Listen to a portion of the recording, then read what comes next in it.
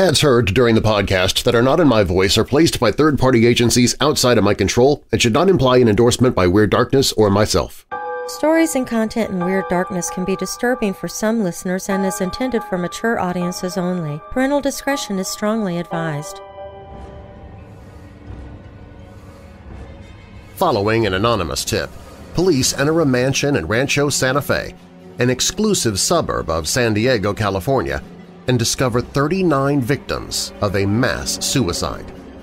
The deceased, 21 women and 18 men of varying ages, were all found lying peaceably in matching dark clothes and Nike sneakers and had no noticeable signs of blood or trauma. It was later revealed that the men and women were members of the Heaven's Gate religious cult, whose leaders preached that suicide would allow them to leave their bodily containers and enter an alien spacecraft hidden behind the Hale-Bopp comet. I'm Darren Marlar, and this is Weird Darkness.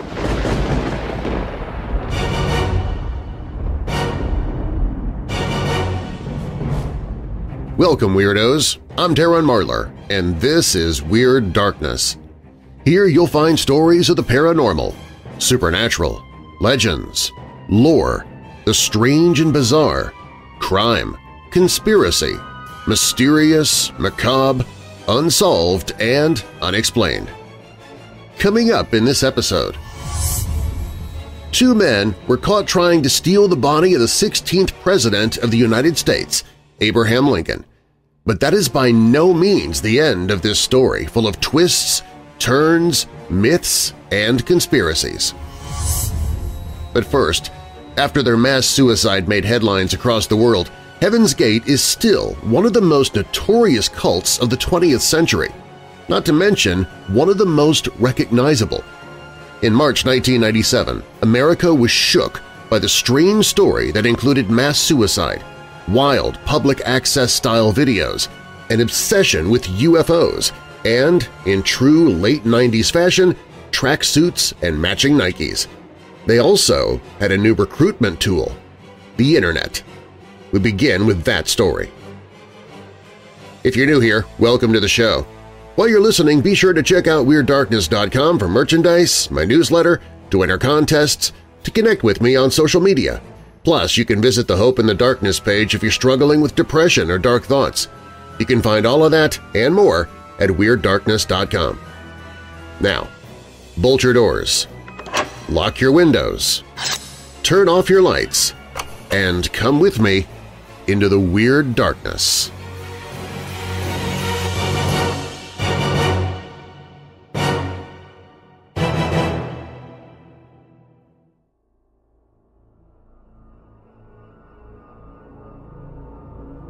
The cult was led by Marshall Applewhite, a music professor who, after surviving a near-death experience in 1972, was recruited into the cult by one of his nurses, Bonnie Lou Nettles. In 1975, Applewhite and Nettles persuaded a group of 20 people from Oregon to abandon their families and possessions and move to eastern Colorado, where they promised that an extraterrestrial spacecraft would take them to the Kingdom of Heaven. Nettles, who called herself T, and Applewhite, who took the name of Doe, explained that human bodies were merely containers that could be abandoned in favor of a higher physical existence. As the spacecraft never arrived, membership in Heaven's Gate diminished, and in 1985 Bonnie Lou Nettles, Applewhite's sexless partner, died. During the early 1990s, the cult resurfaced as Applewhite began recruiting new members. Soon after the 1995 discovery of the comet Hale-Bopp, the Heaven's Gate members became convinced that an alien spacecraft was on its way to Earth, hidden from human detection behind the comet. In October 1996, Applewhite rented a large home in Rancho Santa Fe explaining to the owner that his group was made up of Christian-based angels. Applewhite advocated sexual abstinence, and several male cult members followed his example by undergoing castration operations. In 1997, As part of its 4,000-year orbit of the Sun, the comet Hale-Bopp passed near Earth in one of the most impressive astronomical events of the 20th century. In late March 1997, as Hale-Bopp reached its closest distance to Earth, Applewhite and 38 of his followers drank a lethal mixture of phenobarbital and vodka, and then laid down to die, hoping to leave their bodily containers, enter the alien spacecraft, and pass through Heaven's Gate into a higher existence. Heaven's Gate has the distinction of being the first well-known American cult of the Internet era, using the new technology to share their beliefs with a wider audience and also to make a living. They derived a large portion of their income from designing web pages.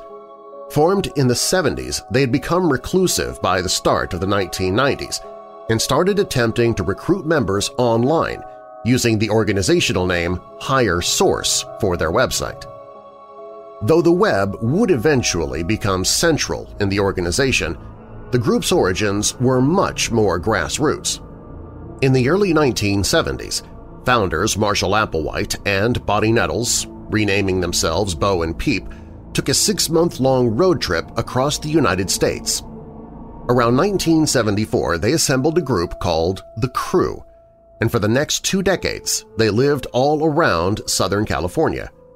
Though Nettles died in 1985, Applewhite kept the group together, and when the Internet was introduced to consumers in the early 1990s, they began using this new technology to share their beliefs with a wider audience. The cult's philosophy took its roots from Applewhite's Presbyterian upbringing. His father was a minister and essentially grafted belief in extraterrestrials onto Christian theology. Applewhite told his acolytes that he was the second coming of Jesus Christ, that God was an alien, and that they were living in the end times. They read the Bible, especially Revelation chapter 11 in the New Testament, a section about two witnesses that would prophesy. At the end of their prophecy, they would have to battle demons, which Applewhite and Nettles called the Luciferians. But in late March 1997, 39 members, including Applewhite, wearing black tracksuits and sneakers, ate applesauce laced with barbiturates and washed it down with vodka.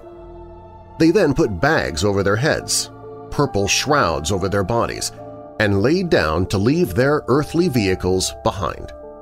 They weren't killing themselves, they thought, but freeing their souls from them so they could ascend to a spacecraft flying in the wake of the Hale-Bopp comet, which at that point was passing by Earth and were going to be taken to their new home in space.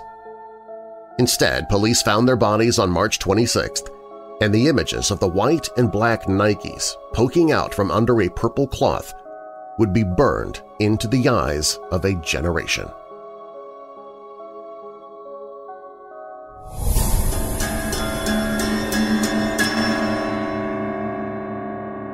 When we return, we'll look at what life was like inside the cult as a member of Heaven's Gate.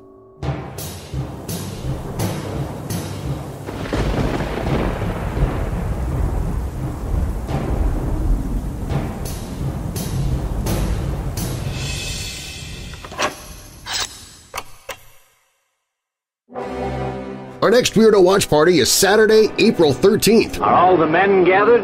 All the fools? We'll be treated to a Roger Corman crap fest from 1958.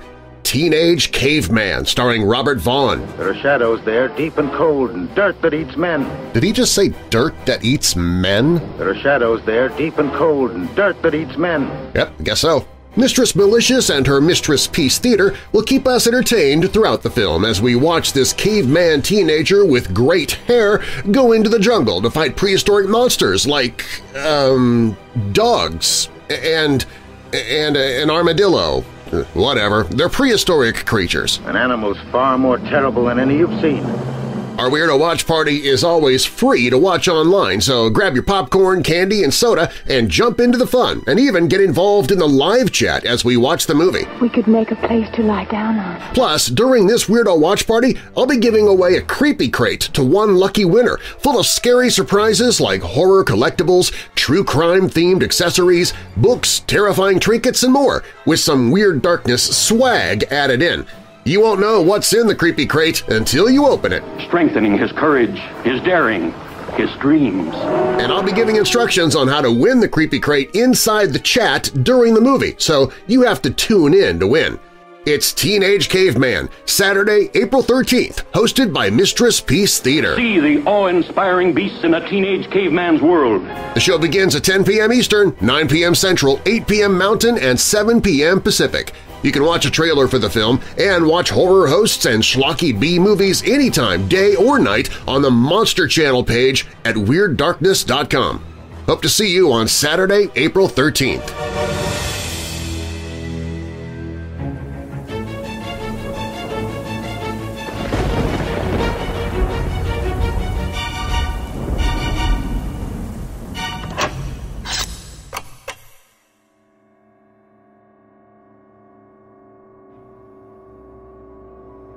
Everyone knows the bullet points about Marshall Applewhite and his cult, but what was life like in Heaven's Gate? Were their days all that different from the day-to-day -day of normal society? Short answer, yes.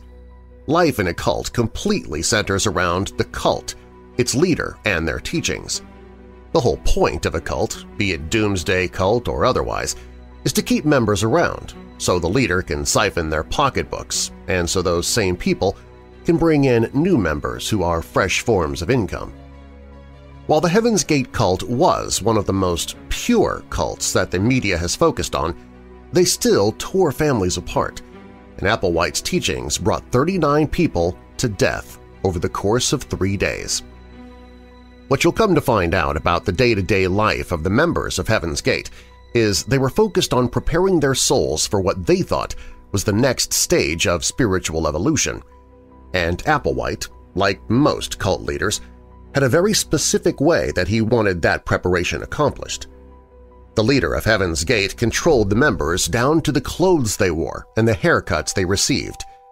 He even convinced many of the men to receive a group castration in order to curb their sexual appetites. The Heaven's Gate cult is one of the darkest and most misunderstood cults of the 20th century. There are so many strange things about the Heaven's Gate cult, but one thing that's worth a few eyebrow raises is the fact that the members of Heaven's Gate knew they were in a cult. Most cult leaders, whether it be Jim Jones of Jonestown or Joseph DiMambro of the Order of the Solar Temple, deny their organizations are cults – and pretend it's a new religious movement or something to that effect. But on Inside Stories episode about Heaven's Gate, former member Leanne Wolfe, who was in the cult from 1975 to 1991, says that the members would joke about how they were the cult of cults and how they were in Heaven's Gate to beg to be brainwashed. No matter how peaceful your doomsday cult is, the leader is always going to be paranoid and that was definitely the case with Marshall Applewhite. From as early on as the late 70s, Applewhite tried to shy away from the press that sniffed around the cult and forced the members to sleep in campgrounds in good energy states like Colorado and California. According to the Heaven's Gate documentary on History TV, some of the parents of cult members had created a newsletter that kept outsiders up on happenings inside the group, and when Applewhite found out about this, he labeled them meddlers and said that the people putting the newsletters together were agents of the lower forces who were out to get them. When new members were indoctrinated into the cult, one of the first things that would happen is they would ditch their names and have them changed. Usually they would add the suffix Odie to their adoptive first name in order to define them as children of the next level. Marshall Applewhite, the group's leader, was the first member of the group to change his name. He went by Doe, as in Doe a deer, which may have been a reference to his past life as a college music professor in Texas. although the odiization of followers doesn't seem to be a hard and fast rule. One of Applewhite's followers who was not with the group when they committed suicide, Richard Ford, was renamed Rio DiAngelo. Ford is most famous for filming the post-mortem footage of the Heaven's Gate cult and selling the rights to their story to a production company. One of the most important parts about being in Heaven's Gate was the desire to leave everything about humanity behind. In order to do this, they gave up their possessions, stopped having sex, became androgynous, and tried to keep their minds off weird human thoughts like why does cheese taste like that or iguana is a weird word. One activity that helped cult members train their minds was called the tone. Members would keep themselves focused on a tone produced from a tuning fork at all times while doing other activities, and supposedly this kept them from thinking normal human thoughts. One of the pieces of the ever-changing mythology of Heaven's Gate is that Applewhite may have been a reincarnation of Jesus. Members of the cult believed that human bodies are nothing but shells that disappear when we die because of soul transference or something like that. Honestly, for all of their hours of home video footage, it seems like they were actually pretty light on letting people in on their doctrine. Anyway, in an interview with Inside Story, an ex-member who goes by the name Sawyer believes that Applewhite is a 20th century Jesus. Whether he was the exact same soul that was incarnate 2,000 years ago or not is not relevant because he felt that it was the information that was more important. Like most cults, Heaven's Gate forced its members to give up their earthly possessions and turn their money over to the cause – they believed to be eligible for membership in the next level, humans would have to shed every attachment to the planet. But of course, Applewhite knew that to live in a palatial home on planet Earth, you had to have money, which is why he took as much cash from his new followers as he could. And he had those who had already given everything up take on jobs in order to continue funding the cult's lifestyle. One of the most important rules of Heaven's Gate is that there was no sex allowed between any of the members. In interviews filmed for the Inside Story documentary on the Heaven's Gate cult, multiple former members discuss Marshall Applewhite's fear of his own homosexuality and how he forced members to cut sex out of their lives as a way to make sure that he wasn't tempted to have sex with any of the men who joined. As the days of Heaven's Gate waned, many of the members opted to be castrated rather than fight their sexual urges. One thing that separated members of the Heaven's Gate cult from groups like Jonestown or the Manson family was that at no time did members of the Heaven's Gate away team seem like they were having a bad time. There are hours of footage from inside the cult's home, and in every video, members of the group seem happy. Who knows what psychological stress the members of the team were under, but all the cult members were smiles as they waited for their swiftly approaching doom.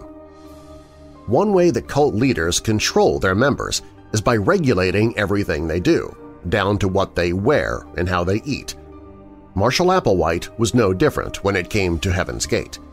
In order to get to the next level, Applewhite demanded strict obedience from his followers even when they were making breakfast.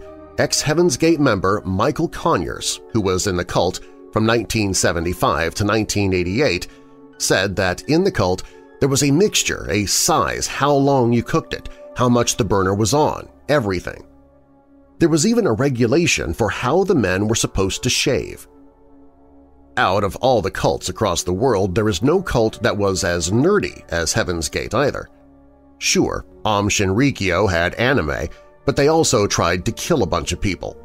Heaven's Gate just watched a bunch of Star Trek The Next Generation and made themselves patches for their jumpsuits that read Heaven's Gate Away Team. Aside from their love of going where no one had gone before, the away team made most of their money from building websites for various companies in the mid to late 90s. That is a nerd alert if there ever was one. For as weird and creepy as Marshall Applewhite was, he wasn't dumb, and he knew that having a house full of androgynous nerds would quickly draw attention to his suicide cult. In order to make life look normal from the outside, only a few select members were actually allowed to leave the house. Everyone else had to stay inside. According to an interview with ex-Heaven's Gate member Michael Conyers, the cult would live 15 people to a house, and there were designated people who could go outside, so it appeared as though there was just a few people living in the house. One of the most important facets of the Heaven's Gate doctrine didn't have anything to do with faith, religion, or even UFOs. One of Marshall Applewhite's biggest requirements of his cult members was something he called breaking away, which was pseudo-religious jargon for disconnecting someone from their family forever. In his video titled Last Chance to Evacuate Earth Before It Is Recycled, Applewhite notes that breaking away is more than moving in with this little cult. It's the act of becoming something new. He continues, it means that even the mind that you had as a human is aborted, and the soul that was given to you is filled with next-level information, next-level mind, and a new creature is born, one that is not human. Ex-member Michael Conyers notes that anyone in the cult who thought about leaving or who had a difference of opinion with Applewhite faced idle threats of missing the boat, which he now knew meant committing suicide in order to hop on a spaceship.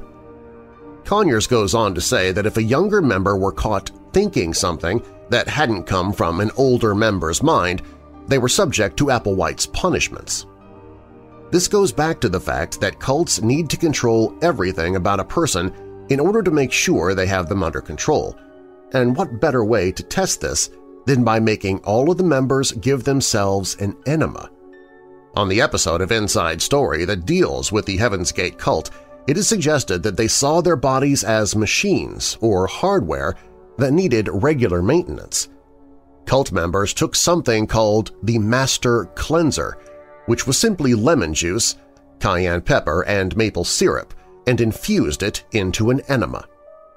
Former members who are still living can say that this was done in order to keep themselves healthy all they like, but these forced enemas were nothing more than a way for members to prove that they were loyal to Applewhite.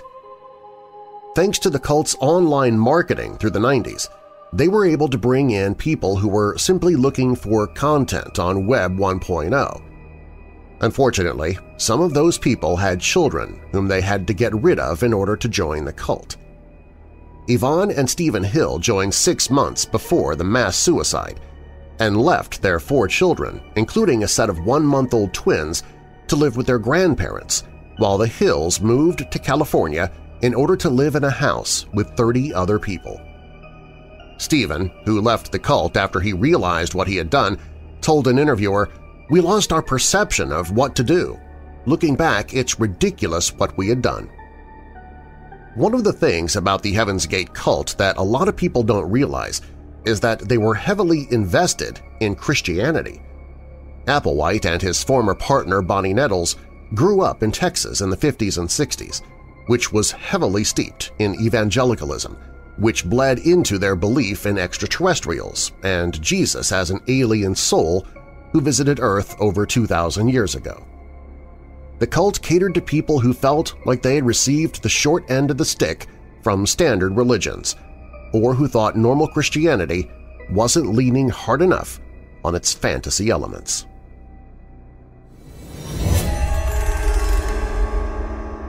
When Weird Darkness returns, two men were caught trying to steal the body of the 16th President of the United States, Abraham Lincoln, but that is by no means the end of this story full of twists, turns, myths, and conspiracies. Up next.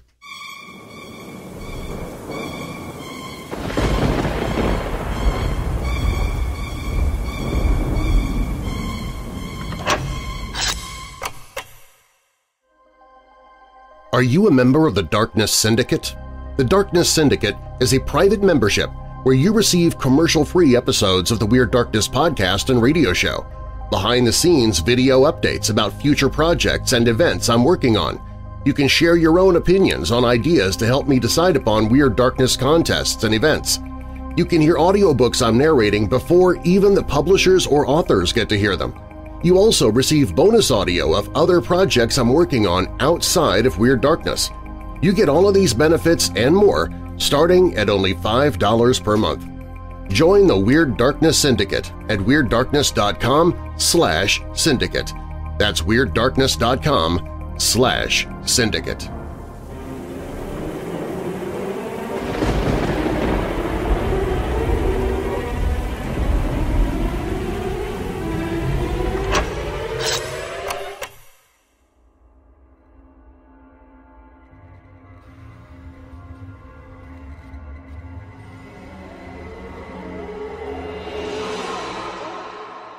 After President Abraham Lincoln had been assassinated on November 20, 1865, his body traveled west from Washington, spending several weeks visiting towns and cities along a circuitous route. His funeral service in Springfield did not take place until May 4th, almost six months later, and it followed a parade route from the former Lincoln home to Oak Ridge Cemetery on the far edge of the city. Oak Ridge Cemetery had been started in Springfield around 1860 and mostly consisted of woods and unbroken forest. In fact, not until after Lincoln was buried there was much done in the way of improvement, adding roads, iron gates, and a caretaker's residence. Lincoln himself had chosen the rural graveyard as his final resting place, a fact that city leaders initially balked at. However, pressure from his high-strung widow eventually forced them to go along with his wishes. Lincoln was placed in a temporary receiving vault in the cemetery with his sons Willie, who had died during his presidency, and Eddie, who had died many years before.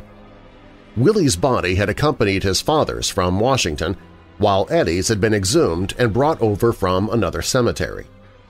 A short time later, a temporary vault was built for Lincoln, and on December 21st he was placed inside. Six of Lincoln's friends wanted to be sure the body was safe, so a plumber's assistant named Leon P. Hopkins made an opening in the lead box for them to peer inside.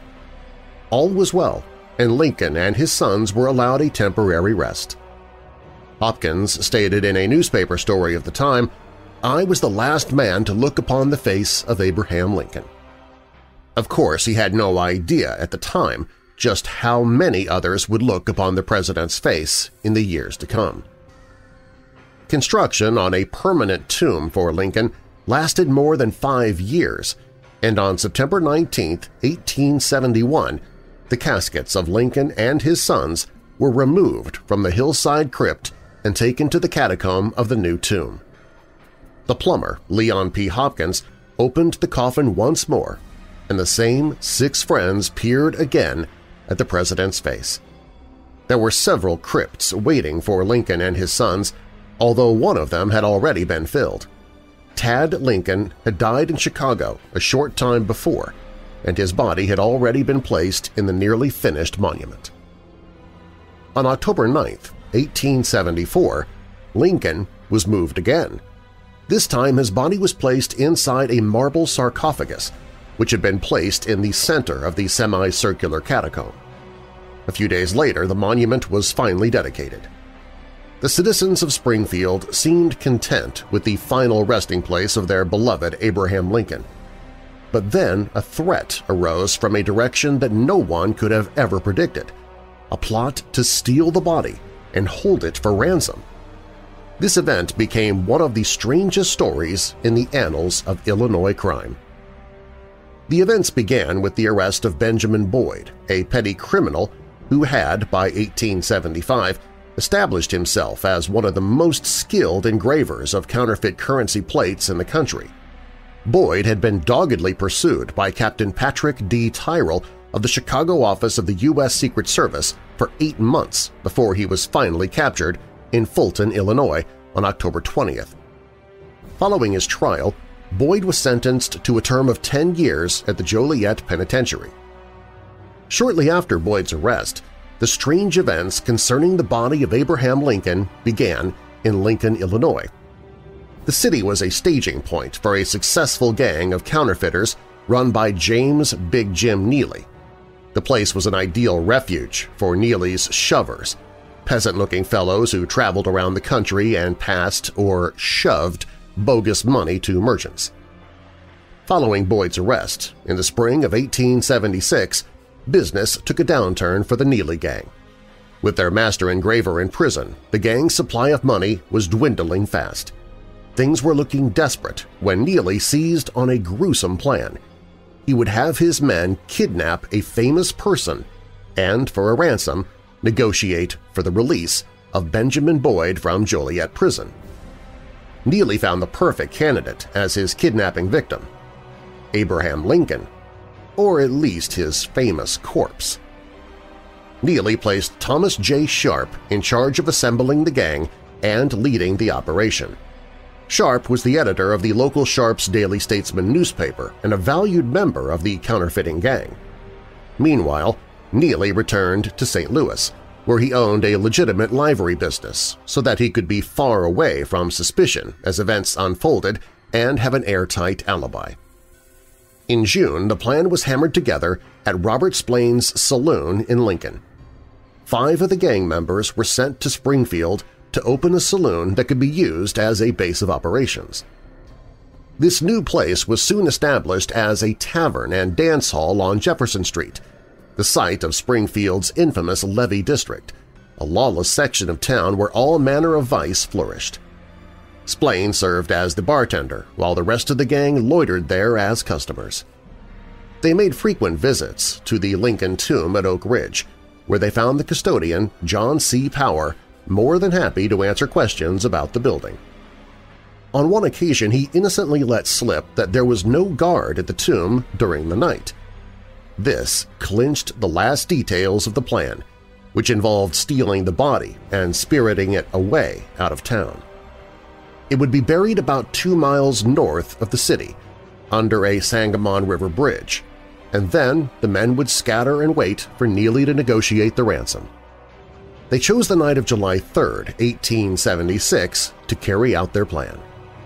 The Springfield Saloon was up and running by the middle of June, leaving the men with several weeks with to do nothing but just sit around the tavern, drink, and wait. One night, one of the men got very drunk and spilled the details of the plan to a prostitute who worked at a nearby parlor house. He told her to look for a little extra excitement in the city on Independence Day.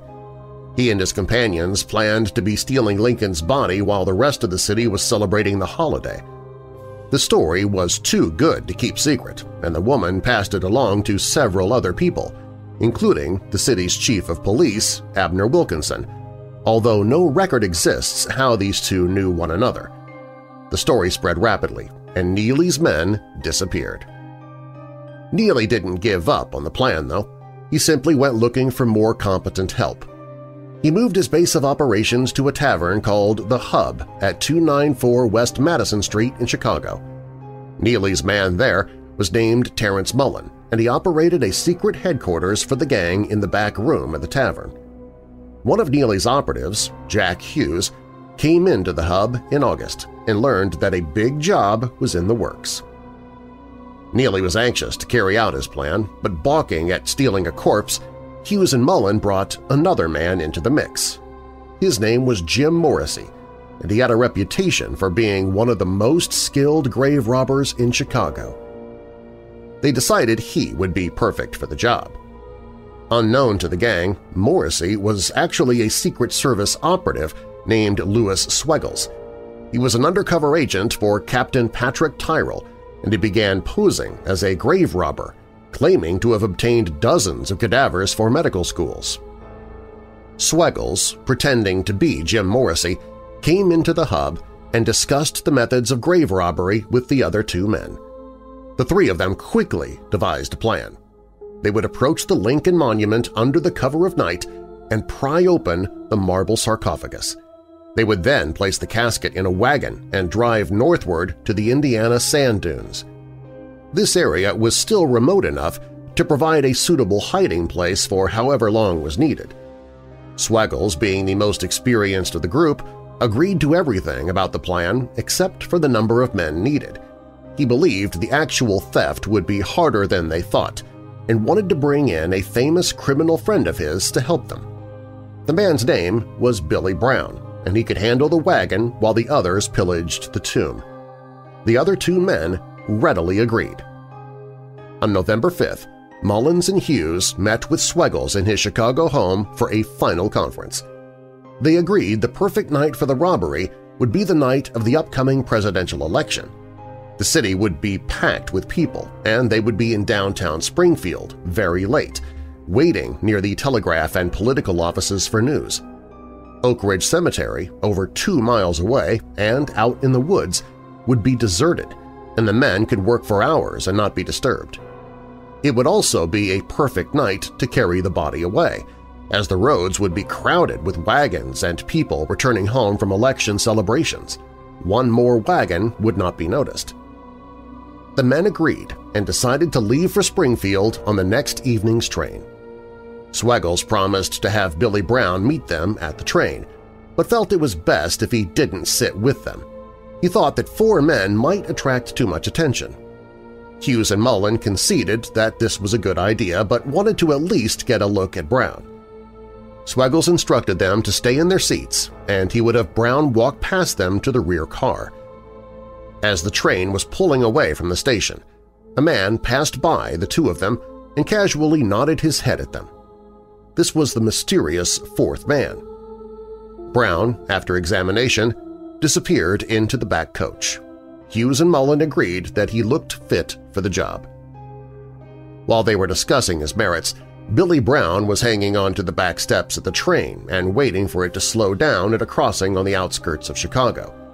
At that point, he slipped off the train and headed back into the city. Billy Brown was actually Agent Neely of the United States Secret Service. As Neely was slipping off the train, more agents were taking his place. At the same time the conspirators were steaming toward Springfield, Tyrrell and half a dozen operatives were riding in a coach just one car ahead of them. They were also joined on the train by a contingent of Pinkerton detectives who'd been hired by Robert Lincoln after he got word of the plot to steal his father's body. The detectives were led by Elmer Washburn, one of Robert Lincoln's law partners. A plan was formed between Washburn and Tyrrell. Swegles would accompany the grave robbers to Springfield and while assisting in the robbery would signal the detectives, who would be hiding in another part of the monument. They would then capture Mullen and Hughes in the act. When they arrived in Springfield, Tyrrell contacted John Todd Stuart, Robert's cousin and the head of the new Lincoln National Monument Association, which cared for the tomb. He advised Stuart of the plan, and together they contacted the custodian of the site the detectives would hide in the museum side of the monument with the custodian. This area was called Memorial Hall, and it was located on the opposite side of the structure from the catacomb. They would wait there for the signal from Swegles, and then they would rush forward and capture the robbers. The first Pinkerton agent arrived just after nightfall.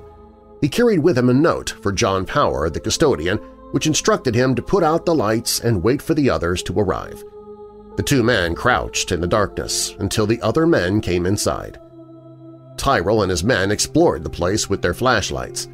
Behind the memorial hall was a damp, dark labyrinth that wound through the foundations of the monument to a rear wall of the catacomb, where Lincoln was entombed. Against this wall, in the blackness, Tyrrell stationed a detective to wait and listen for sounds of the grave robbers. Tyrrell then returned to the museum room to wait with the others. Their wait was over as darkness fell outside. A lantern flashed outside the door, and sounds could be heard as the grave robbers worked at the lock. Almost immediately, Mullen broke the saw blade that he was using on the lock, and so they settled in while he resorted to the long and tedious task of filing the lock away. After some time, Mullen finally removed the lock and opened the door to the burial chamber. Before them, in the dim light, they saw the marble sarcophagus of President Lincoln. Now all they had to do was to remove the lid and carry away the coffin, which turned out to be much harder than they had anticipated. The stone was too heavy to move, So, using an axe, they broke open the top, then removed the lid aside and looked into it. Swegles was given the lantern and was stationed nearby to illuminate the work area. Left with no other option, he complied, although he was supposed to light a match at the door to alert the Secret Service agents that it was time to act. Meanwhile, Mullen and Hughes lifted out the heavy casket. Once this was completed, Mullen told Swegles to go and have the wagon moved around. He had assured Mullen and Hughes that Billy Brown had it waiting in a ravine below the hill. Swegles raced around to the Memorial Hall, gave the signal to the detectives, and then ran outside. Tyrrell whispered to his men, and with drawn revolvers, they rushed out and around the monument to the catacomb. When they arrived, they found the lid to the sarcophagus was moved aside and Lincoln's casket was on the floor, but the grave robbers were gone. The detectives scattered outside to search the place. Tyrrell ran outside and around the base of the monument, where he saw two men near one of the statues. He whipped up his pistol and fired at them. A shot answered, and they fought it out in a hail of gunfire, dodging around the monument. Suddenly, one of the men at whom he was shooting called out Tyrrell's name. He was firing at his own agents. Mullen and Hughes had casually walked away from the tomb to await the return of Swegles, Brown, and the wagon. They never suspected the whole thing had been a trap. They had only wanted to get some air and moved into the shadows where they wouldn't be seen in case someone wandered by. After a few minutes, they saw movement at the door to the tomb and had started back, thinking that Swegles had returned. They heard the pistol shots and saw a number of men around the monument. They took off running past the ravine and vanished into the night. Assuming that Swegles had been captured, they fled back to Chicago, only to be elated when they found him waiting for them at the Hub Tavern. He had returned with the horses, he told them, but found the gang gone. He had come back to Chicago not knowing what else to do to await word of what had happened. Thrilled with their good fortune, the would-be grave robbers spent the night in drunken celebration. The story of the attempted grave robbery appeared in the newspaper following the presidential election, but it was greeted with stunned disbelief. In fact, only one newspaper, the Chicago Tribune, would even print the story because every other newspaper in the state was sure that it was not true. To the general public, the story had to be false, and most believed that it had been hoaxed for some bizarre political agenda. Most people would not believe that the Secret Service and Pinkerton agents would be stupid enough to have gathered all in one room where they could see and hear nothing and then wait for the criminals to act. The Democrats in Congress charged that the Republicans had hoaxed the whole thing so that it would look like the Democrats had violated the grave of a Republican hero and in this way sway the results of the election.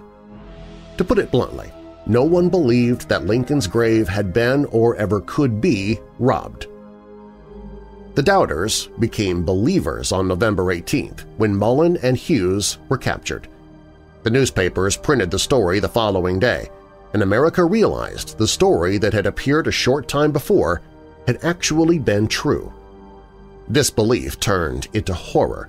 Letters poured into the papers, laying the guilt at the feet of everyone from the Democrats to Southern sympathizers to the mysterious John Wilkes Booth Fund.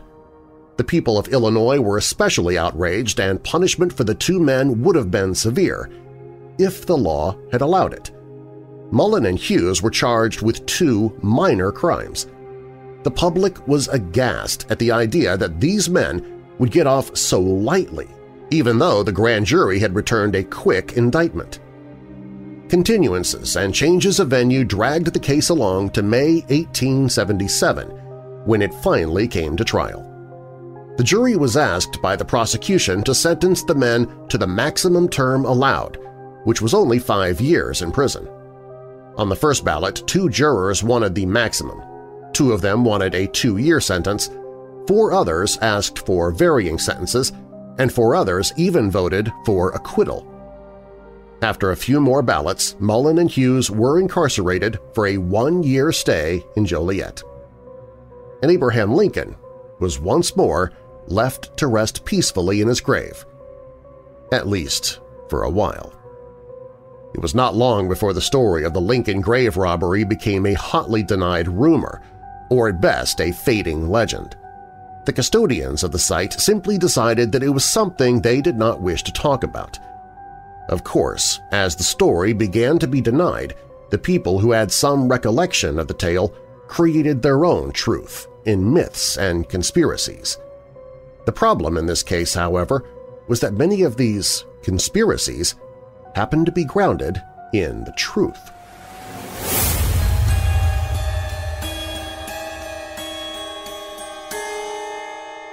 There is a lot more to this story, so keep listening.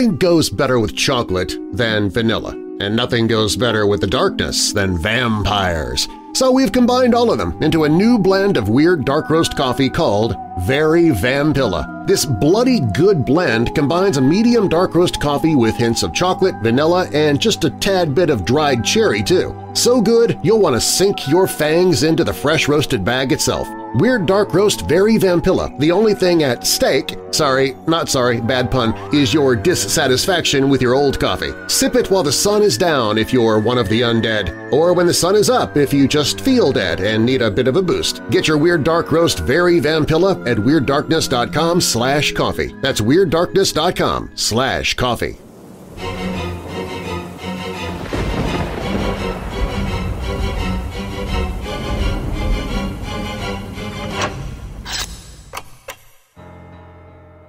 Hundreds of people came to see the Lincoln burial site, and many of them were not afraid to ask about the stories that were being spread about the tomb and the robbery. From 1876 to 1878, custodian John C. Power gave rather evasive answers to anyone who prodded him for details about the grave robbery. He was terrified of one question in particular, and it seemed to be the one most often asked – was he sure that Lincoln's body had been returned safely to the sarcophagus after the grave robbers took it out? Power was terrified of that question for one reason, because at that time Lincoln's grave was completely empty. On the morning of November 1876, when John T. Stuart of the Lincoln National Monument Association learned what had occurred in the tomb with the would-be robbers, he rushed out to the site. He was not able to rest after the incident, fearing that the grave robbers who had not been caught at that time would return and try to finish their ghoulish handiwork. So he made a decision. He contacted the custodian and told him that they must take the body from the crypt and hide it elsewhere in the building. Together, they decided the best place to store it would be in the cavern of passages which lay between the Memorial Hall and the catacomb. That afternoon, Adam Johnson, a Springfield marble worker, took some of his men and they lifted Lincoln's casket from the sarcophagus. They covered it over with a blanket and then cemented the lid back into place. Later that night, Johnson, Power, and three members of the Memorial Association stole out to the monument and carried the 500-pound coffin around the base of the obelisk, through Memorial Hall, and into the dark labyrinth. They placed the coffin near some boards that had been left behind in the construction. The following day, Johnson built a new outer coffin while Power set to work digging a grave below the dirt floor. It was slow work because it had to be done between visitors to the site, and he also had a problem with water seeping into the hole. Finally, he gave up and simply covered the coffin with the leftover boards and wood. For the next two years, Lincoln lay beneath a pile of debris in the labyrinth, while visitors from all over the world wept and mourned over the sarcophagus at the other end of the monument, the empty sarcophagus. More and more of these visitors asked questions about the theft, questions full of suspicion, as if they knew something they really had no way of knowing. In the summer and fall of 1877, the legend took another turn workmen arrived at the monument to erect the naval and infantry groups of statuary on the corners of the upper deck. Their work would take them into the labyrinth, where Powers feared they would discover the coffin. The scandal would be incredible, so Power made a quick decision. He called the workmen together and, swearing them to secrecy, showed them the coffin. They promised to keep the secret, but within days everyone in Springfield seemed to know that Lincoln's body was not where it was supposed to be. Soon, the story was spreading all over the country. Power was now in a panic. The body had to be more securely hidden, and in order to do that, he needed more help.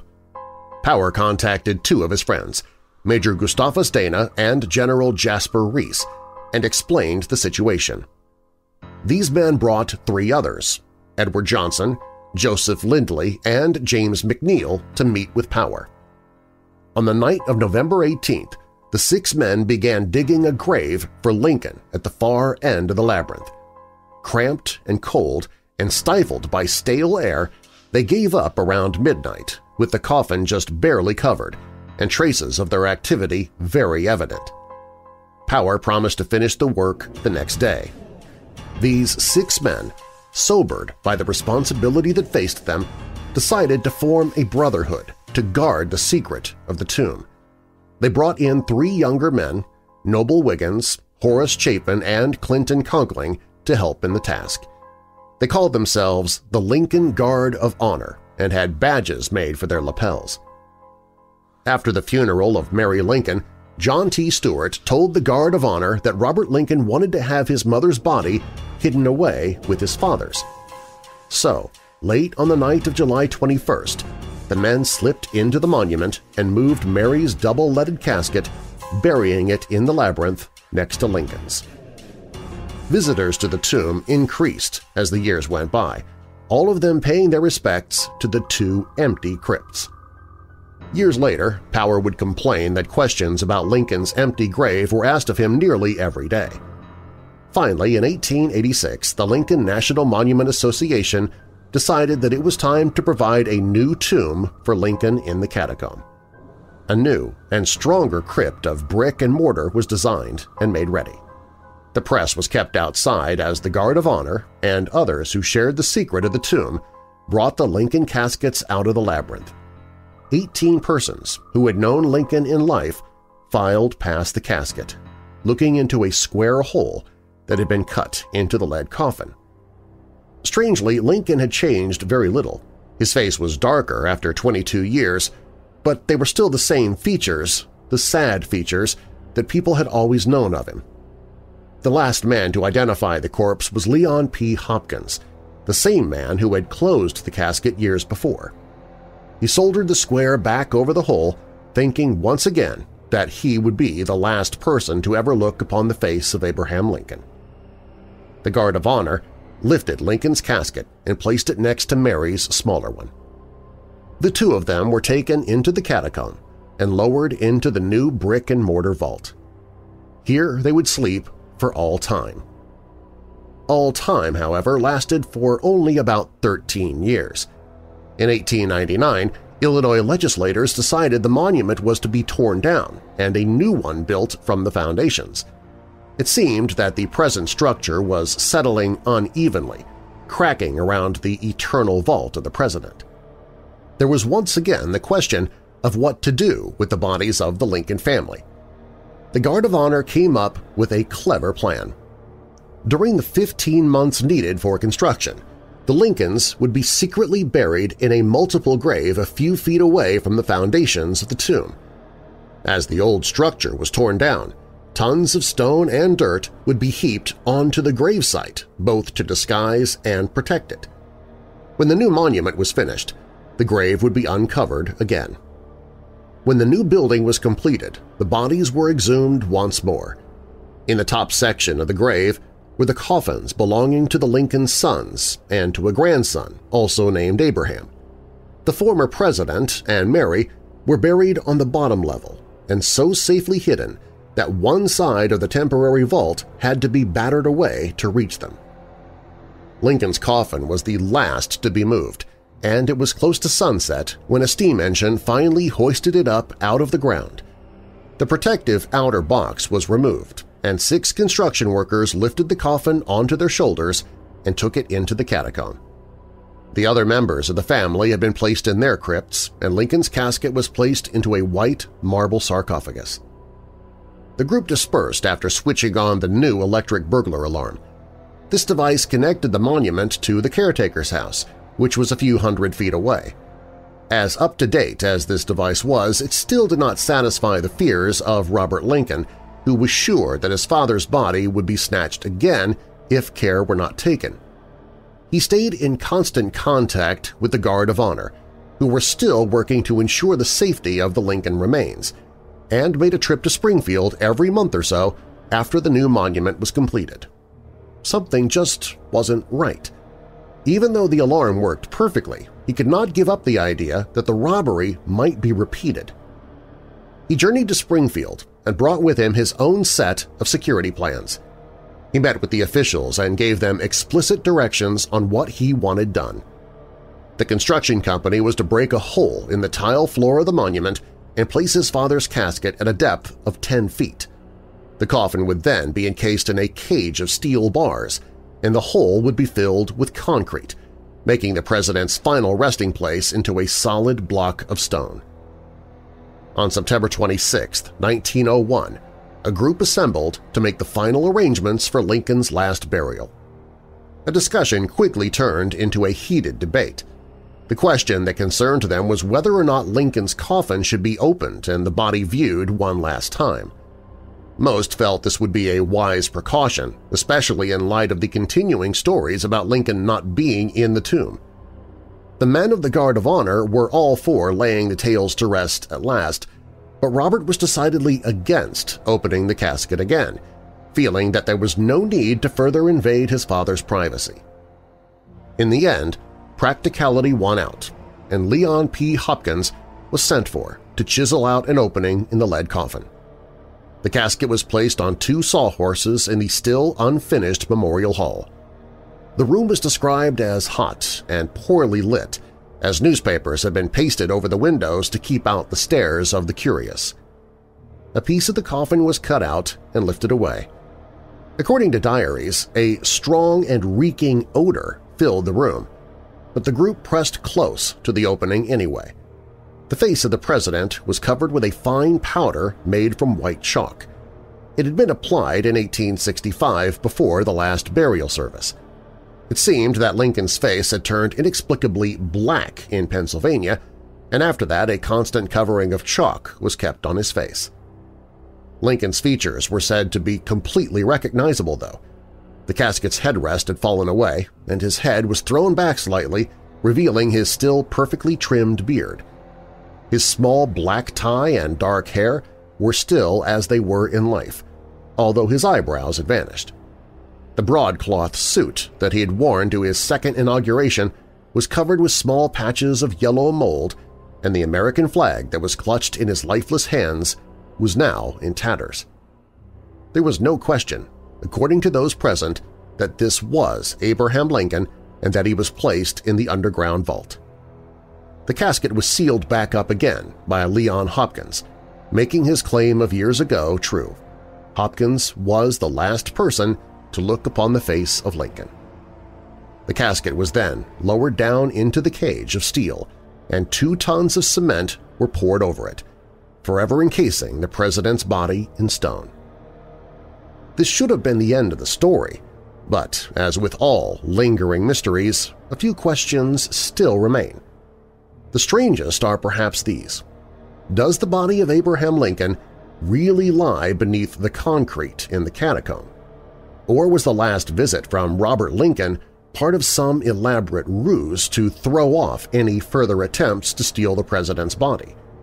And did, as some rumors have suggested, Robert arrange with the Guard of Honor to have his father's body hidden in a different location entirely? Most historians would agree that Lincoln's body is safely encased in the concrete of the crypt, but rumors persist. Some might ask whose word we have for the fact that Lincoln's body is where it is said to be. We only have the statement of Lincoln's son Robert, his friends, and of course the Guard of Honor. But weren't these the same individuals who allowed visitors to the monument to grieve before an empty sarcophagus, while the president's body was actually hidden in the labyrinth beneath a few inches of dirt? I don't think we will ever really know for sure.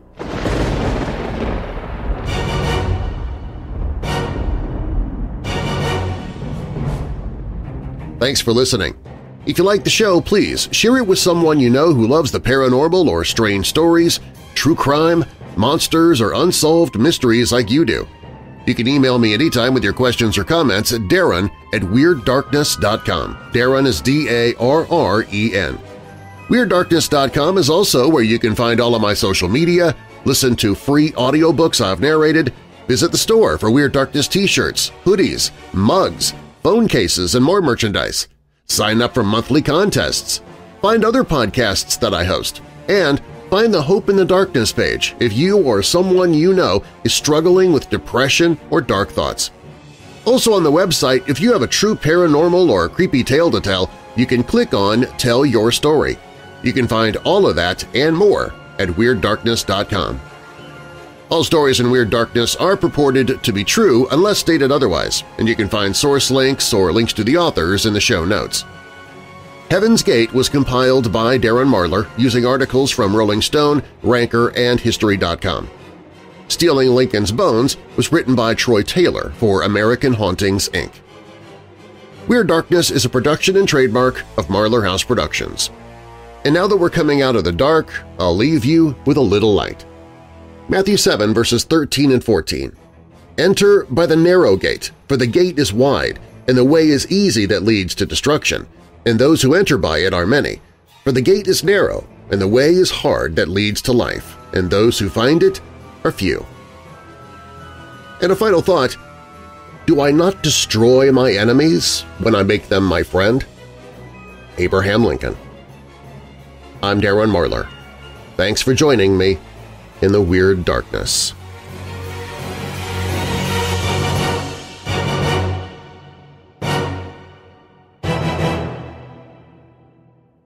Hey Weirdos! Be sure to click the like button and subscribe to this channel, and click the notification bell so you don't miss future videos. I post videos seven days a week. And while you're at it, spread the darkness by sharing this video with someone you know who loves all things strange and macabre. If you want to listen to the podcast, you can find it at WeirdDarkness.com slash listen.